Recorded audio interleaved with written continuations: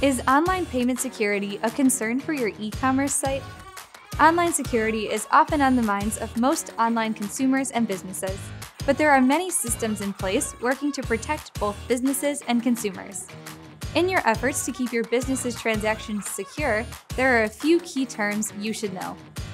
Today's video will go over six of the key terms and phrases that will help you to better understand payment security and provide safer transactions for your customers. I'm Sissy from Jotform, and let's get started.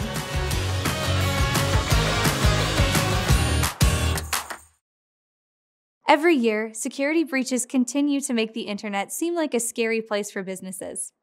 Consumers are well aware of the risks, so if your e commerce site cannot provide a high level of online payment security, they are sure to look elsewhere.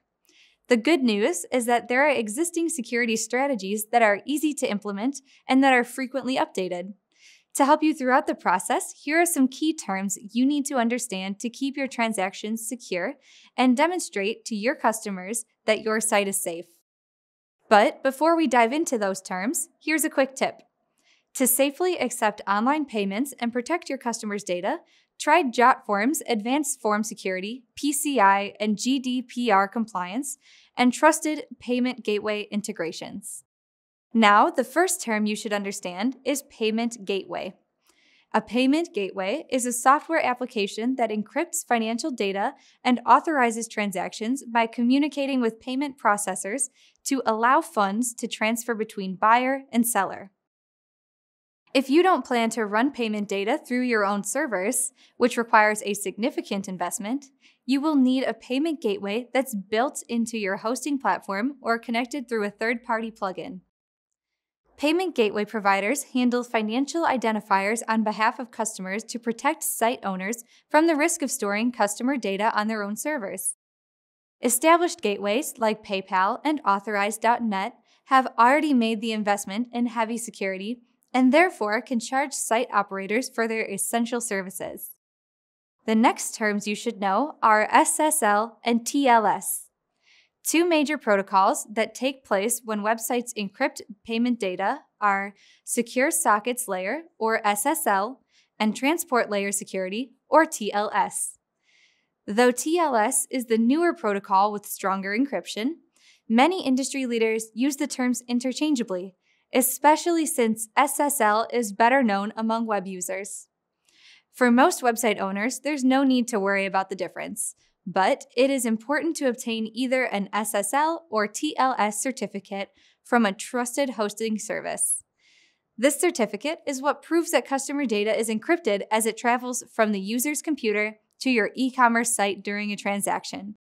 Having an SSL or TLS certificate is crucial in today's online e commerce, as most browsers indicate its presence through a closed padlock, indicating to customers the transaction is safe.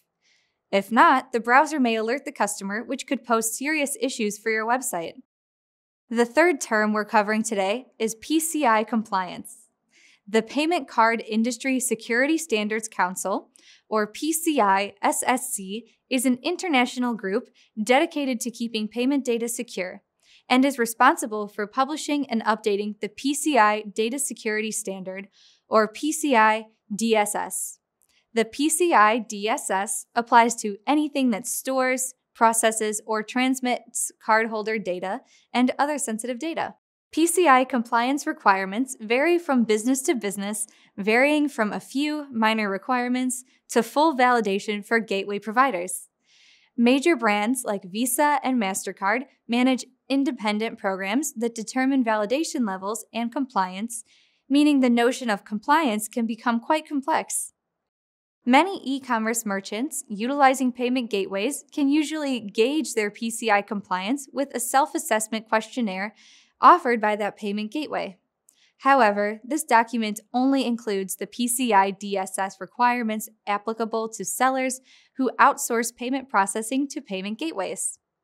That said, be sure to ask any third party vendors that manage financial transactions whether they carry validation for all PCI DSS requirements, and of course, if they don't, we suggest you keep looking. Another term we think you should know is tokenization. What you may not know is that encryption isn't the only way to hide financial identifiers as they move from customers to sites and to payment processors.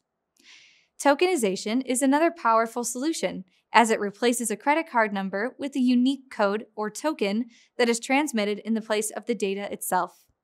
In fact, tokenization may be the way to go when it comes to ensuring transaction security. This way, businesses themselves never actually see their customers' full payment information.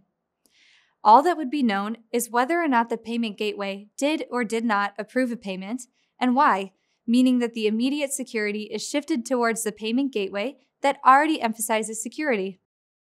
Next, let's look at multi factor authentication. To provide access to protected information, a system needs to verify the user's identity. The easiest way to do so is to prompt the user for their password, but the password alone can't guarantee security. To ensure security, you can ask for an additional factor, which is typically a code sent to the user's phone or email, verifying that the user possesses an item associated with their identity. This simple yet effective multi factor authentication method can drastically improve security. As with other efforts to ensure online security, multi factor authentication doesn't only make e commerce safer, but it also increases the likelihood that customers will choose to buy your product in the first place. Finally, let's talk about how to communicate payment security to buyers. Online payment security strategies serve two key objectives protecting customer data and helping visitors to feel secure about making a purchase. To achieve both, site operators need to advertise the investments they have made in data protection. As an example, if your site uses advanced fraud detection plugins, you should list them on your shopping cart page.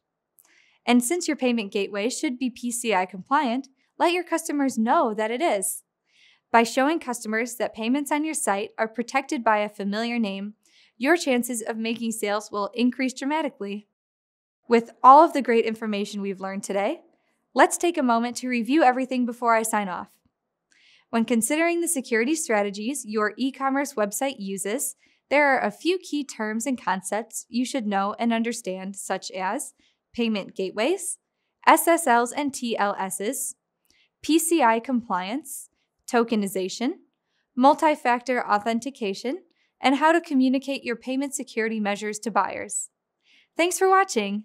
Again, I'm Sissy from Jotform. See you next time.